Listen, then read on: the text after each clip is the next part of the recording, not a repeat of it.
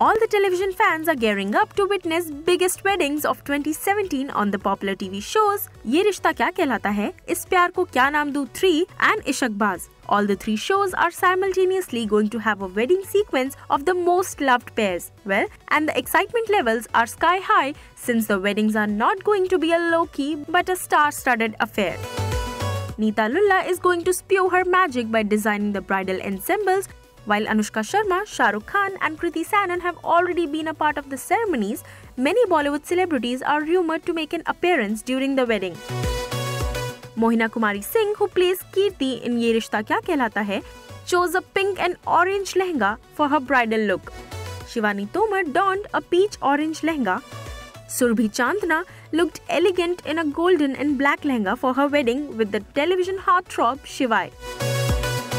Well, with the looks of the brides being out already, and they have left us wondering who looks the most beautiful. So guys, state your favorites in the comment section below.